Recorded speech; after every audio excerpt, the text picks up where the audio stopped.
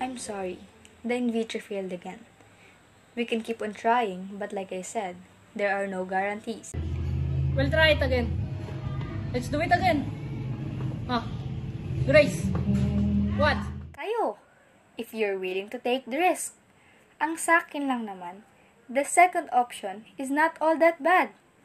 You know, it's just a thing you need to do.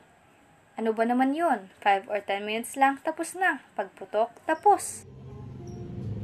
Hindi ko makuha yung obsession mo with my husband doing it with your friend. Ewan ko sa inyo ha, ako kasi nababastusan ako eh. Nababastusan ako sa idea, nababastusan ako sa iyo. Jack! Bakit pakiramdam ko para na lang tayo nagiging sunod-sunuran sa kanila?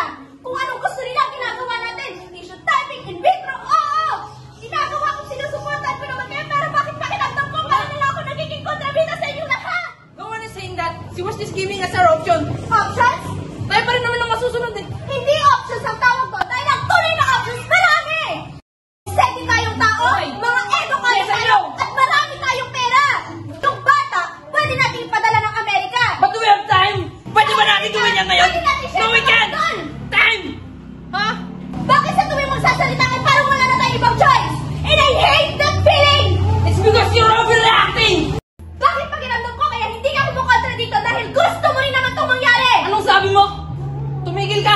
Tumigil ka! You shut up!